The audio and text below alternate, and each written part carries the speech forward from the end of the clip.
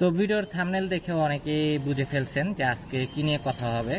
আজকে আমি কথা বলব ক্রোয়েশিয়াতে কি কি ধরনের ভিসা হয় এবং সেই ভিসাগুলোর স্যালারিটা কীরকম হয় এবং ক্রোয়েশিয়াতে যেতে কি কি ডকুমেন্টের প্রয়োজন হয় এবং কত টাকা খরচ হতে পারে এই বিষয়গুলো নিয়ে আজকে আলোচনা করব। সো ভিডিওটি স্কিপ করবেন না, সম্পূর্ণ ভিডিওটি দেখার জন্য অনুরোধ রইল।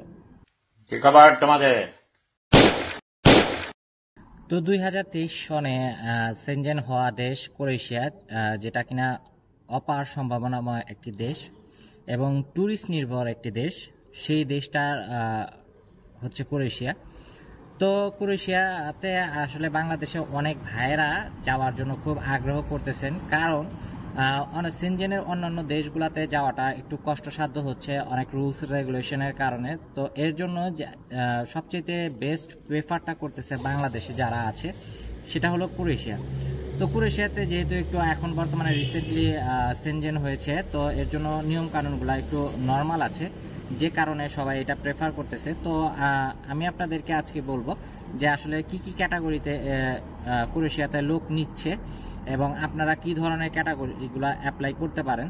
সো ক্রোয়েশিয়া যেহেতু আপনি ট্যুরিস্ট নির্ভর একটি দেশ তো সেই জন্য কিন্তু বেশিরভাগ লোকই নিচ্ছে তারা হোটেল রেস্টুরেন্ট হোটেল রেস্টুরেন্টের যে ভিসাগুলো হয়, যেমন আপনি কিচেন স্টাফ তারপর ওয়েটার তারপর শেফ বারটেন্ডার এগুলা এগুলার যে ভিসাগুলো আছে, এই ভিসাগুলাতে আসলে লোক নিচ্ছে তারা। এবং বিভিন্ন ফ্যাক্টরি ফ্যাক্টরিগুলার জন্য তারা লোক নিচ্ছে। ফ্যাক্টরিগুলা এবং সাপ্লাই কোম্পানি ওরকম না থাকলেও কিন্তু সাপ্লাই কোম্পানি টুকটাক ভিসা হচ্ছে। এবং ফ্যাক্টরিগুলা ফ্যাক্টরিগুলা ফুড প্যাকেজিং হতে পারে এবং বিভিন্ন ফ্যাক্টরির যে কাজগুলো থাকে সেই ধরনের কাজগুলোতে লোক তারা নিচ্ছে। তবে সবচেয়ে বেশি লোক নিচ্ছে কিন্তু তারা আপনার হোটেল রেস্টুরেন্ট রেস্টুরেন্টের যে কাজগুলোর জন্য যেসব লোকের প্রয়োজন হয়, সেই লোকগুলা নিচ্ছে। তো যদি আপনি দেখা যায় যে হোটেলের কাজগুলা জানা থাকে একটা প্রাথমিক ধারণা থাকে আপনার এবং মোটামুটি যদি আপনার একটা প্র্যাকটিস করেন এবং ক্রোয়েশিয়াতে যাওয়ার আগে যদি আপনি এই কাজগুলো একটু প্র্যাকটিস করে যান, কোনো জায়গায় আপনার ইন্টার্ন হিসেবে করে যান, তাহলে কিন্তু আপনার জন্য এই বিষয়টা খুবই ইজি হবে। তো এখন আসা যাক যে আসলে ক্রোয়েশিয়াতে স্যালারিটা কীরকম হয়। ক্রোয়েশিয়াতে সাধারণত আপনার সাড়ে পাঁচশো, ছয়শো ইউরোর মতো স্যালারিটা হয়। তো সাড়ে পাঁচশো, ছয়শো ইউরোতে বাংলাদেশি টাকায় প্রায় পঁয়ষট্টি, সত্তর হাজার। তো এরকম স্যালারিটা হয়। তো এখন বলবেন যে আসলে ষাট, পঁয়ষট্টি বা সত্তর হাজার যেটাই হোক স্যালারি, তো এখন আপনাদের থাকা খাওয়াটা কে দিবে বা থাকা খাওয়াটা কি আপনার নিজের উপর হবে কিনা?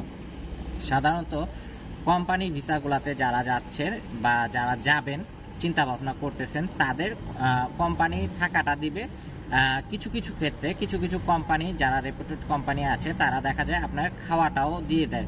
খাবার যদি না দেয় তাহলে দেখা যাবে সেই অনুযায়ী একটা অ্যামাউন্ট আপনাকে দিয়ে দিবে আহ, খাওয়ান খাবার বাবদ। তো এই ছিল আসলে স্যালারিটা এবং আপনার থাকা খাওয়ার বিষয়টা। তো এখন আসা যাক আসলে আপনারা ক্রোয়েশিয়াতে যেতে আপনাদের কি কি ডকুমেন্টের প্রয়োজন হতে পারে। তো ক্রোয়েশিয়াতে যাওয়ার জন্য অবশ্যই আপনার পুলিশ ক্লিয়ারেন্স লাগবে এবং রিসেন্টলি করা লাগবে যেটা মানে ভ্যালিড মেয়াদ থাকতে হবে। আহ, এবং আপনার পাসপোর্ট লাগবে এবং আপনার ব্যাংক স্টেটমেন্ট যেটা সেটা আপনার নামে থাকতে হবে এবং এই এই কটা জিনিস আসলে লাগতেছে পাসপোর্ট সাইজ ছবি এটা এটা সবাই জানেন। তো এই এই ডকুমেন্টগুলা লাগবে আপনাদের। এবং এখন আসা যাক যে আসলে ক্রোয়েশিয়াতে যেতে কীরকম খরচ হতে পারে। তো ক্রোয়েশিয়াতে আসলে এক এক কোম্পানির উপর ডিপেন্ড করে আপনাদের কিন্তু ভিসার একটা অ্যামাউন্টও কিন্তু বেশ কম হতে পারে। অনেকে বলবেন বিভিন্ন এজেন্ট বিভিন্ন অ্যামাউন্ট নিতেছে। তো সাধারণত আসলে যদি আপনার ভিসার কোয়ালিটিটা উপর ডিপেন্ড করে, যে মন ক্রোয়েশিয়াতে যে লোকটা আপনার জন্য ভিসাটা বের করবে, সেটার কোয়ালিটির উপর ডিপেন্ড করে অনেক সময় ভিসার অ্যামাউন্টটা ভিসা সাধারণত যদি ভালো কোনো কোম্পানিতে হয় বা ভালো কোনো রেস্টুরেন্টগুলোতে হয় যেগুলো স্যালারি খুবই ভালো এবং রেপুটেড কোম্পানি হয়, সেগুলোর ক্ষেত্রে দেখা যাবে আপনার অ্যামাউন্টটা একটু বেশি লাগবে। যেগুলো একটু মোটামুটি নর্মাল কোম্পানি মিডিয়াম রেঞ্জের তাদের একটু কম লাগবে। এক- একবারে লোয়েস্ট কোম্পানি যেগুলো, সেগুলোর ক্ষেত্রে আরও কম লাগবে। তো এইভাবে করেই আসলে ক্রোয়েশিয়ার যে স্যালারিগুলা মানে মানে খরচটা যেটা আপনাদের কাছ থেকে নেয় এজেন্টরা এই খরচগুলাই আসলে এর জন্য আপনাদের অ্যামাউন্টে বেশ কম হতে পারে। এছাড়াও দেখা যায় বাংলাদেশের মধ্যে অনেক এজেন্ট অনেকভাবে নেয় সেম ভিসা হলো। তো সেটা মোটামুটি একটা আমি আপনাদেরকে ধারণা দিতে পারি, সাধারণত বারো লাখ থেকে তেরো লাখ টাকা, সাড়ে তেরো লাখ টাকা পর্যন্ত অনেক অনেক এজেন্টে কিন্তু নিচ্ছে। তো এখন আপনাদের সর্বশেষ যে বিষয়টা, সেটা হলো ভাই ক্রোয়েশিয়াতে যাওয়ার জন্য আপনার জমা দিলে কি রকম সময় লাগতে পারে? তো এটা ডিপেন্ড করে আপনার যে এজেন্টের কাছে জমা দিয়েছেন, তার উপর আসলে বেসিক্যালি ডিপেন্ড করে যে আপনার কতদিন মেয়াদ লাগতে পারে বা কতদিন সময় লাগতে পারে। সাধারণত নর্মালি যদি আপনি হিসাব করেন, তাহলে চার থেকে ছয় মাসের ভিতরে হয়ে যায়। যেহেতু ইউরোপের ভিসাগুলোতে একটু টাইম লাগে যদি আপনার এজেন্ট চেষ্টা করে, তাহলে চার মাসের ভিতরে হয়ে যায় আপনার এই ভিসাগুলো। তো দেখা যায় তাদের কাছে অনেকগুলো কাজ থাকে, যে কারণে তারা ওইভাবে গুরুত্ব দিয়ে কাজ করে না, যে কারণে একটু অনেক সময় বেশি সময় লেগে যেতে পারে। তো এই ছিল আসলে আজকের ভিডিও তো আশা করি আপনাদের মোটামুটি একটা ধারণা দেওয়ার ধারণা দিতে পেরেছি আমি এই ভিডিওর মাধ্যমে। সো এবং ক্রোয়েশিয়া নিয়ে যদি আরও ডিটেলসে আপনাদের কিছু জানা থাকে, অবশ্যই নিচে কমেন্ট সেকশনে জানাবেন।